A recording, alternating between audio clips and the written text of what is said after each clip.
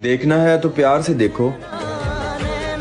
गुस्से से तो मेरे घर वाले भी देखते हैं। हूँ मैं प्यार से नहीं देखने वाला। अगर मुझे प्यार हो गया तो आपसे तो मेरी तो ज़िंदगी खराब हो जाएगी। नाना भैया मैं गुस्से से ही ठीक हूँ नहीं झूठ बोल रहा है अरे सब भंडारा खाना है तू क्यों नहीं आया कभी दस रुपए चढ़ाने पड़ जाते हैं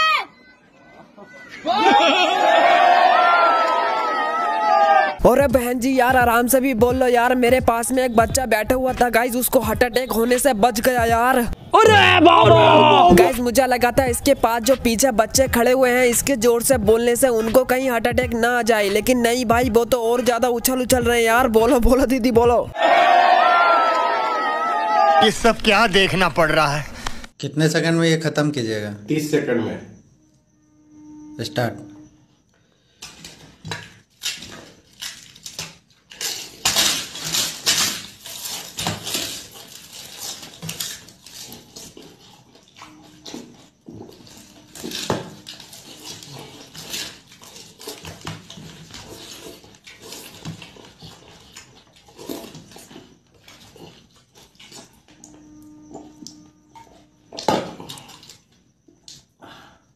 अरे मैया ये कैसे खा गया? अरे बाप रे यार मुझे तो लगा था ये बंदा एक एक कर कर खाएगा लेकिन नहीं भाई ये तो सबका हलवा बनाकर लपेट गया यार।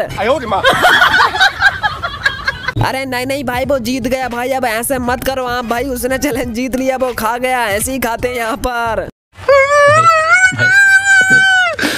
अच्छा सुनो मम्मी सोच लिया मैंने किसी करोड़पति से ही शादी करूँगी अब। अब कहाँ से लाऊं करोड़पति? ये तो मैं भूल गई थी, औकात तो नहीं है अपनी। तो पचास पचास के दो चलेंगे फिर मेरे को। अब यार इतना मत सोचो मम्मी, ऐसे मत करो कि अब तीस तीस के तीन पे आना पड़े।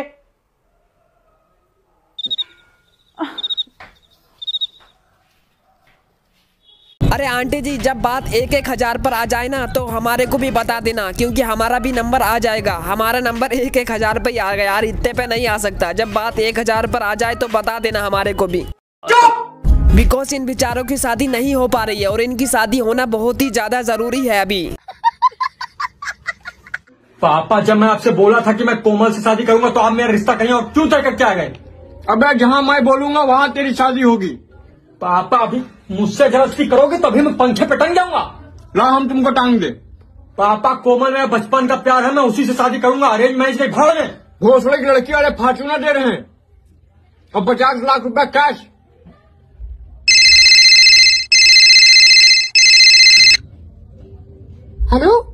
पापा से शादी की बात की? कौन? कोमल।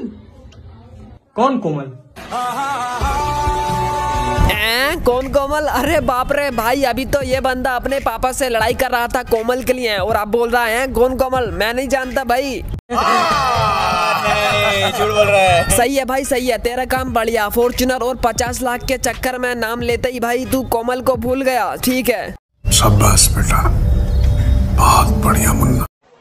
एकदम से मत देखना तगड़ा आई कांटेक्ट हुआ एक बंदी के साथ। कहाँ पे है?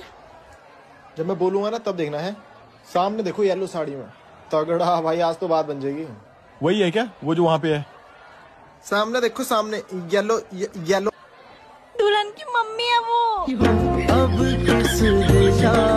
अरे भाई इस बंदे का काम बढ़िया यार। ये बंदा उन्हीं की शादी में आ रखा है और भाई उसी की मम्मी को सेट कर रहा भाई इस बंदे का काम बढ़िया यार। शाबाश बेटा। भाई दुल्हन की मम्मी को सेट कर रहा है यार ये बंदा यार इतनी ज़्यादा सुंदर है दुल्हन की मम्मी यार इसका मतलब बहुत ही क्यूट होंगी।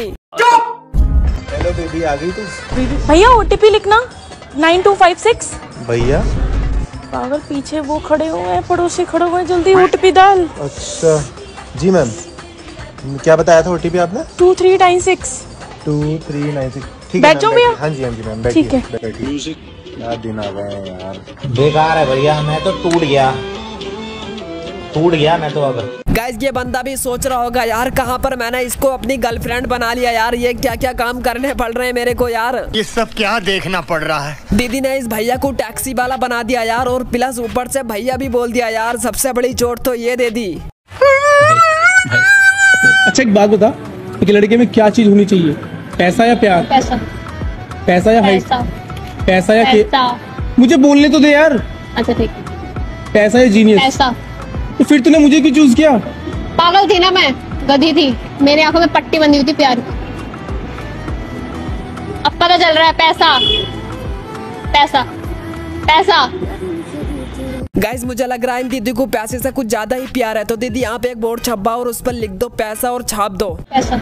और उस बोर्ड को आप अपने आगे और पीछे लगा लो और फिर पब्लिक प्लेस में निकल जाओ। नहीं। और एक कलुआ मोते शादी के लिए हाँ कर दे हाँ। और नहीं तो हम तुम्हारी कसम खाए रहे। हम यहाँ से कूद के अपनी जान दे दिए और मेरी मौत को जिम्मेदार। सिर्फ़ तुम हो या तुम और कोई नहीं हो है ना ना दीदी ये हमसे नहीं हो पाएगा। एक तो हम वैसे ही आपकी रील्स देख देख कर थक गए हैं परेशान हो गए हैं और ऊपर से आपसे शादी कर ले। ना ना भैया हमें अपनी ज़िंदगी खराब नहीं करनी। क्रूज में कितना मज़ा आ रहा है ना। एक काम करते हैं रेस्टोरेंट में खाने चलते हैं। हाँ चलो सब लोग अपने अपने पैसे निकालो। हाँ। लो। तुम इधर? मैं नहीं चल रहा हूँ। क्यों? मेरे पास पैसे ही नहीं है। अरे यार इसके पास कभी भी पैसे नहीं रहते जब भी पूछो यार। किसने बोला तेरे पास पैसे नहीं है? तेरा वॉलेट दिखा दिखा। कुछ भी बोलता है इसके पास पैसे नहीं है मैं देखती कुछ तो पैसे रखा कर यार